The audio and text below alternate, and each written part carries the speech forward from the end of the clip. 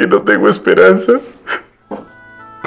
Y tienes razón, no te merezco. Soy un asco.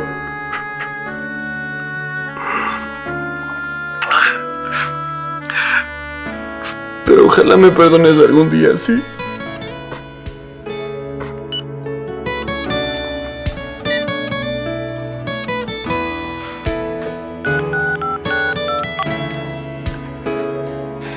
Isabel, ¿ya compraste tu boleto a San Gaspar?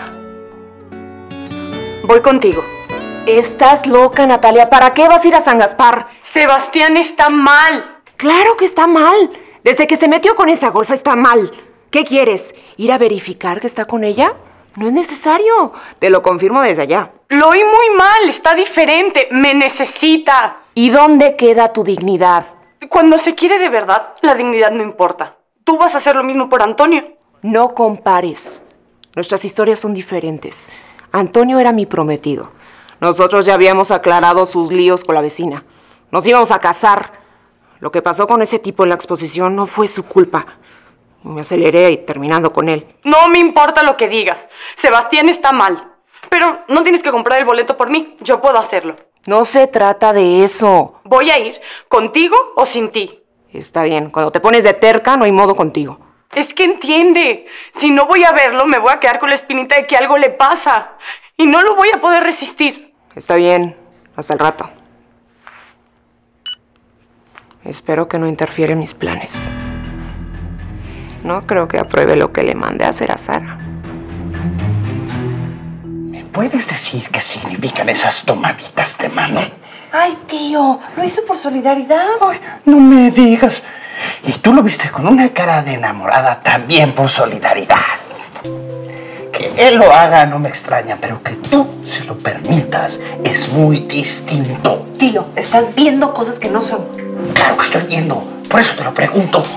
Pero, No, tío, no, yo te perfectamente. ¡Padre! tío, tío, tranquilo. ¿Y tú qué andas haciendo afuera? Deberías estar en reposo, te tienes que recuperar para el partido. No, pues estaba en la alberca platicando con Javis. Bueno, es que la casa me aburro. Bueno, si no es porque estuve un buen rato hablando con Antonio mientras era seguía en la junta con el gobernador, ya me hubiera vuelto loco. ¿Con el gobernador? Sí. ¿Qué? ¿A poco no les has platicado? ¿Qué? ¿Qué tiene? Debería estar orgullosa. De buena bronca sacaste a Antonio. Bueno, si no es por ti, quién sabe qué hubiera pasado. ¿Con qué esas tenemos, verdad? Vamos a casa de Simón para que me platiques.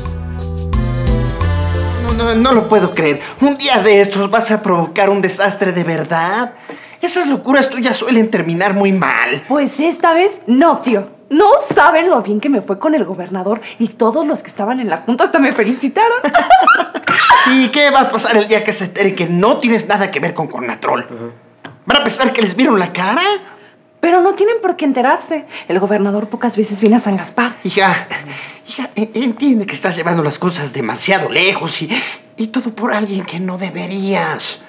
Y no estoy diciendo que Antonio sea una mala persona, pero tú estás haciendo esto por amor. Él no. Pues te equivocas, tío. Antonio me ama. Me lo dijo. Ya no tiene dudas.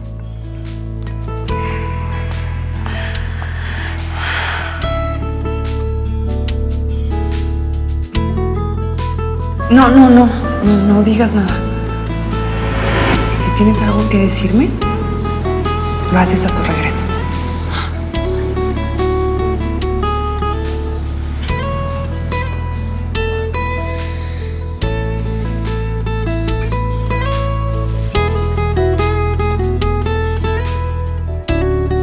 Ni siquiera tienes el apoyo de los trabajadores que tanto quieres proteger.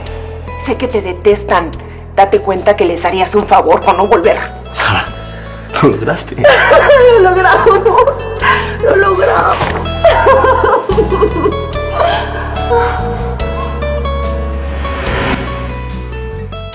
¿Cómo no amar a una mujer así?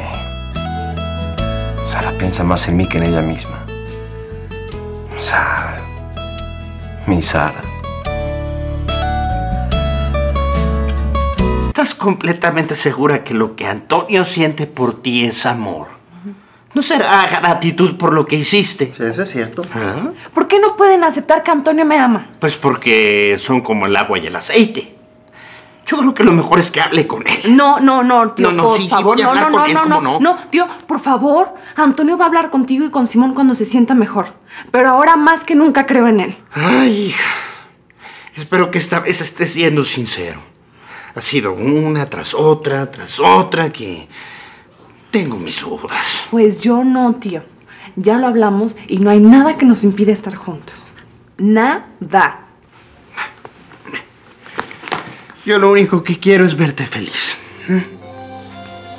Por eso me preocupo. Dios.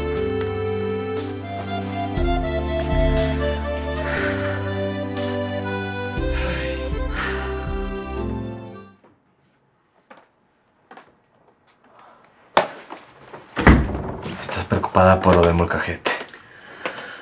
Por eso. Y porque le dije a mi tío Vicente que tú y yo. Nos amábamos. Sí. Pero, ¿Pero qué? pues a él no le parece que estemos haciendo lo correcto. ¿Por qué? Pues dice que somos como el agua y el aceite. Y que nuestros mundos son tan diferentes que van a terminar por separarnos. ¿Qué importa lo que piense? Nosotros sabemos que no va a ser así. Te amo. Yo lo único que quiero es estar contigo el resto de mi vida. Y si tú me amas al igual que yo, que ruede el mundo.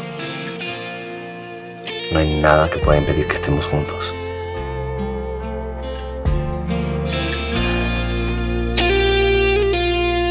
Este amor ya no resiste en silencio.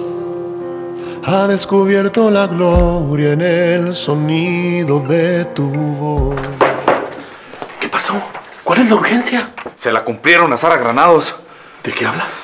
Pues hablé con Quintín y me dijo que hubo una explosión en el molcajete. Parece que alguien se metió e hizo de las suyas. Pepe, estos tipos no se van a detener. ¿Y Sara cómo está? No, bien, no estaba en el molcajete. Una de las empleadas fue la que se llevó el susto. Era de pura suerte, no le pasó nada. Oye, ¿qué pasaría con el anónimo que dejamos? Pues yo creo que no lo vieron porque Quintín no me dijo nada. Y ni modo que le preguntara. Nelson, en buen plan. Creo que llegó el momento de que hables antes de que pase una desgracia mayor. Pues yo creo que sí, no me queda de otra. Hay que buscar a Rafa de una vez. No, no, no, no, con él no. Pues es que es mi amigo y no me atrevo a darle la cara. Voy a hablar con el ingeniero Andrade. No creo que venga.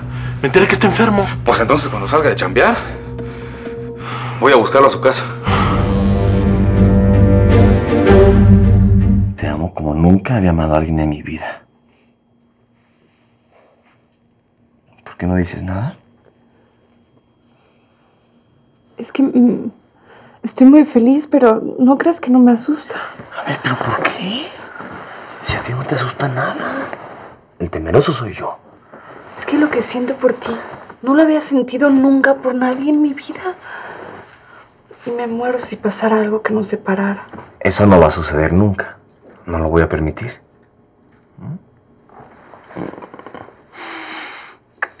Oye, ¿no, no quieres ir a darte una vuelta al molcajete? No tiene caso. Está acordonado, no me van a dejar pasar.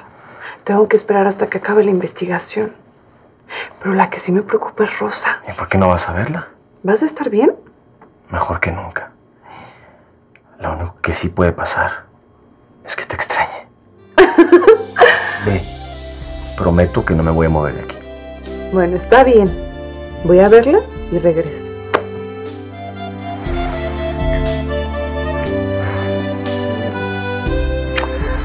Nos vemos al rato. Me llevo las llaves.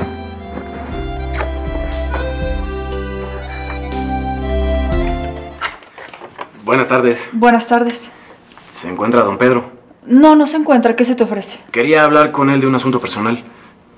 ¿Podría darme su número de teléfono para llamarle y concertar una cita? Lo siento, pero mi marido no me lo permite. Ay, pensé que porque ya nos conocemos podría ser una excepción. No puedo. Lo siento. Ni hablar. Me dio gusto saludarla.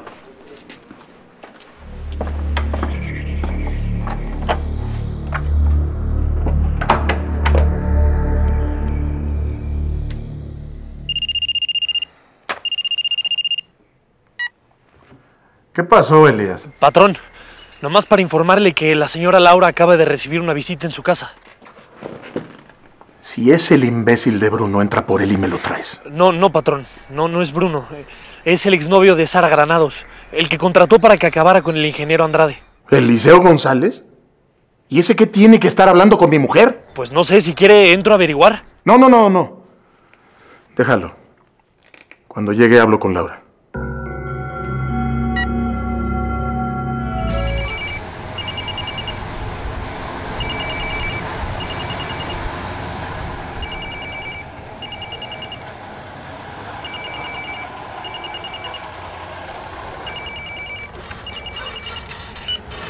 Bueno, Laura, ¿Qué tal, Sara? ¿Cómo estás? imagínate, muy apesadumbrada por todo lo que ha pasado. Lo del molcajete fue terrible. ¿Qué pasó en el molcajete? ¿No sabes? Explotó la cocina. Parece que fue algo premeditado. Digo, están investigando. No me digas. Pensé que don Pedro te había dicho. Él fue a evaluar los daños. No me dijo nada. ¿Y dices que pudo haber sido un atentado? Bueno, eso es lo que piensa la policía, por eso van a investigar. ¿No tendría algo que ver Cheo? ¿Cheo? Sí, se me hizo muy extraño que viniera a buscar a Pedro. Por eso te llamé. Qué raro. Laura, ¿te, te parece bien si paso por ti y me acompañas a ver a Rosa? No, mejor vengan aquí ustedes. Pedro sigue teniéndome vigilada. Está bien, la recojo y vamos para allá.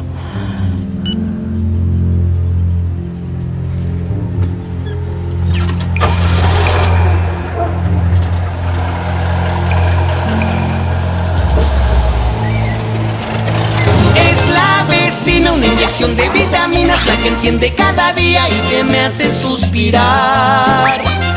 Porque ni en sueños me la imaginé y ahora es mía nada más.